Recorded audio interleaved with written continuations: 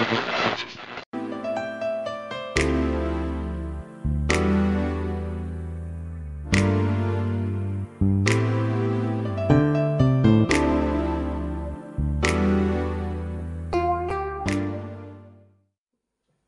Bentrovati. Un personaggio la settimana è una pagina che vi proponiamo oh, da qualche tempo. Affrontiamo diversi argomenti legati alla città di Noto, ma parliamo anche dei personaggi che hanno fatto grande questa uh, città. Uh, lo abbiamo fatto con Corrado Calogero, continuiamo a farlo con lui. Abbiamo parlato del sindaco per eccellenza della città di Noto, Corrado Passarello. Abbiamo parlato anche eh, di Corrado Nicolaci, principe di Villa Dorata e tanti altri personaggi. Questa volta l'invito a parlare del eh, personaggio che citerò tra qualche istante è stato proprio venuto da Corrado Calogero. Ha voluto fermare l'attenzione su un politico di razza, Corrado Bianca. Eh, come tutti sapete Corrado Bianca non c'è più da qualche anno, ma lo ricordiamo tutti per per eh, la sua forte presenza politica ma anche l'impegno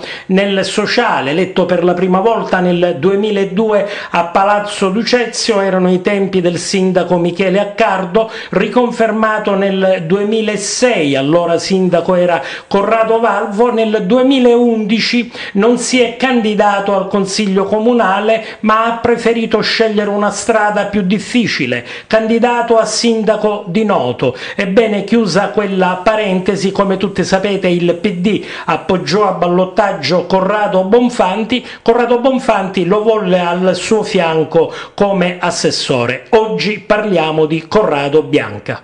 Direttore, io ti ringrazio per avermi invitato qui stasera per parlare di questo personaggio netino, come tu lo hai definito, politico di razza, che risponde al nome di Corrado Bianca. Sono contento di affrontare anche questo argomento e come tu dicevi l'ho proposto io e tu l'hai accettato ben volentieri, significa che anche in te Corrado Bianca ha lasciato qualche segno. E dico sono qui per parlare appunto di questo politico di razza ma di questo amico, permettimi di definirlo amico di tutti, è una persona che tu lo incontravi al di là della veste di assessore che poi ha ricoperto per strada potevi parlare con lui tranquillamente, lui ti dava retta, era l'amico e una persona per bene, sicuramente un uomo per bene. Come tu hai brevemente accennato, Corrado Bianco ha fatto la, il consigliere comunale per nove anni consecutivi, come hai detto tu, con l'avvocato Accardo e poi con l'avvocato Valvo, ma l'ha fatto nove anni di consigliere comunale di opposizione, in quanto lui non, non faceva mai parte della maggioranza. E devo dire, da uomo corretto qual era, non è mai salito nel carro dei vincenti.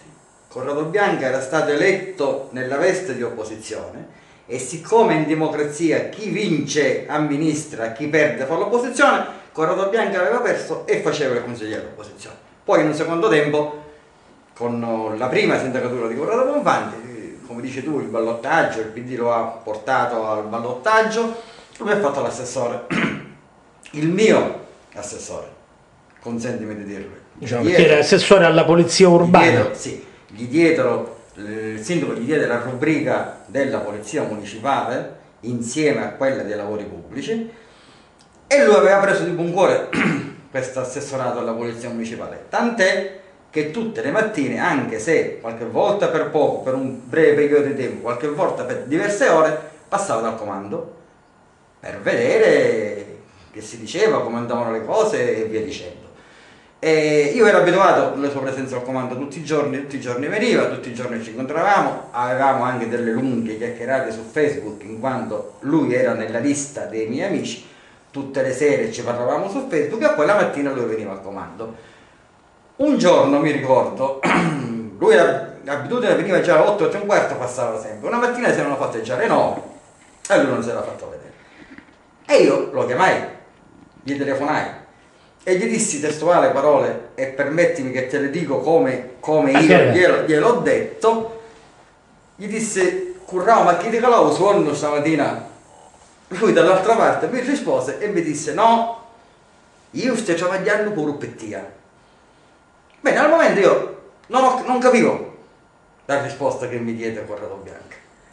Poi lui venne quella mattina stessa e mi spiegò che il, tuo, il suo sto lavorando pure per te significava che nella veste di assessore alla polizia municipale lui aveva presentato o stava per presentare in giunta un progetto finalizzato che sa, come tu ben sai, i progetti finalizzati sono quei progetti che si danno a quelle specifiche categorie di impiegati comunali per, per aumentare il numero delle ore e quindi per dare la possibilità di guadagnare qualcosa in più. Progetto che poi passò in giunta naturalmente perché era così e cominciò tra la metà di ottobre fino al periodo di Natale del 2013. E quindi ecco il, tuo, il suo sto lavorando per te perché potevamo guadagnare qualcosa in più. Poi niente, poi arrivano i momenti tristi. Perché purtroppo poi sono, sono arrivati pure i momenti tristi. Io mi ricordo, mi ricordo un particolare, tu oh, hai lavorato al suo fianco per qualche anno, ne, hai, ne puoi dare atto di ciò che è successo, perché eh, nella qualità Corrado voleva dare anche una sistemazione agli ambulanti e, e nel proporre un progetto si sa bene che a volte si accontentano tante persone, dall'altra parte eh, tu... non c'è la felicità di tante sì, altre persone, tu... per cui ci furono degli scontri eh, verbali anche eccessivi e pesanti che noi abbiamo registrato e Corrado veramente eh, soffrì per quello che si stava verificando perché voleva essere a fianco oh, delle persone che hanno bisogno e in quel momento, visto che era un particolare periodo dell'anno perché si aprivano le porte all'estate, tanti ambulanti avevano bisogno di lavorare non solo in città ma anche a Lido di Noto. Sì, ovviamente stavo dicendo quando tu amministri o fai il sindaco, o fai l'assessore, o fai un altro tipo, o fai il dirigente di settore, voglio dire, non puoi accontentare tutti, perché se tu accontenti tutti sei un mostro e nessuno di noi lo è. Quindi accontenti qualcuno ma scontenti un altro. Ma ripeto, Corrado lo faceva perché come dici tu aveva l'amore, la voglia, l'amore per questa città, la voglia di lavorare e di accontentare tutti. Però come ti stavo dicendo poco fa, poi eh, ah, una cosa importante che scordavo di dirti, a Corrado Bianca io lo ricordo pure tutte quelle volte che in sostituzione del sindaco, perché faceva, era anche vice sindaco con Corrado Convanti, andava in prefettura perché in quel periodo, nella sua vice sindacatura, Noto viveva il problema dell'acqua, ti ricordi? Tra il passaggio tra la 6-8 e l'Aspecon e Corrado Bianco fu uno di quelli che si batté alla morte perché l'acqua tornasse comunale, perché gli fosse tol- tolta alla 6-8 e quindi in prefettura gli incontri che lui faceva a Siracusa e molte volte anche a Catania erano di una lunghezza incredibile, ma lui andava, portava le sue idee e tornava vincente, tant'è che poi l'acqua è passata all'Ascoli. Poi stavo dicendo, arrivano i momenti tristi, una cosa che mi è rimasta qui, te la devo dire lui morì il primo gennaio del 2015, morì a Parma perché era in visita alla figlia Federica. Noi ci sentavamo, come vi ho detto, quasi tutte le sere su Facebook. La sera del 30 dicembre, cioè due giorni prima, noi ci siamo scambiati gli auguri di fine anno. Lui mi disse che il giorno 2 tornava a Noto e che poi mi doveva dire una cosa che aveva pensato. Io gli dissi, non mi fare aspettare il giorno 2, cioè gli dissi, gli scrissi, scrivevamo in chat non mi fare aspettare il giorno 2, dimmelo adesso così almeno vediamo di che cosa si tratta. Mi disse no, non te lo posso dire adesso, te lo, dobbiamo parlarne di persona. E va bene, disse, ma quando tu torni ne parliamo. Ecco, non l'ho mai saputo che cosa voleva dire. Ne puoi immaginare di cosa no, si trattasse. Che poi il giorno 1 purtroppo è scomparso.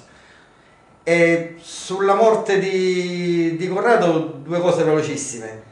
Io l'ho saputo oh, il giorno 1 pomeriggio quando il fatto era successo nella tarda mattinata, mi pare. E se ti ricordi, la notte prima, il 31, ci fu quella nevicata. La nevicata di Noto, no, sì. La nevicata che ci fu a Noto. Quindi su Facebook l'argomento era la nevicata a Noto. Nel tardo pomeriggio del giorno 1 io andavo a vedere cosa c'era scritto, cosa si diceva. Il primo post che io ho letto o che cercavo di non capire su questa faccenda qua lo pubblicò Cettina Claudino Cettina scrisse no, non può essere, ditemi che non è così. Allora io ho letto questa cosa, cercavo di rispondere a Cettina che cosa si riferiva. Poi sai, le cose si susseguivano una pensa all'altro. A questo posto di Cettina rispose Serbi Ferlesi che disse poi, in effetti le cose come. capirai a quel punto come potevo sentirmi e cosa ho potuto provare dentro di me. Lui arrivò dopo qualche giorno in aereo da, da, da, da Parma a Noto e il sindaco fece una grande cosa. Lo mise, come tu ricorderai, fece la Camera Ardente. La Camera Ardente a Palazzo Lucezio, la sala delle Lucezio, con il picchetto d'onore della Polizia Municipale al quale io partecipai e fu, Corrado fu esposto in sala giunta e ci fu una, ti ricorderai, migliaia, migliaia di persone, ma non solo da Noto, persone anche da Siracusa, qualcuno anche da Palermo, perché? Perché Corrado Bianca faceva parte di quel partito, giustamente del PD, come tu dicevi, ma il PD lui lo vedeva a livello di D'Alema, Bersani.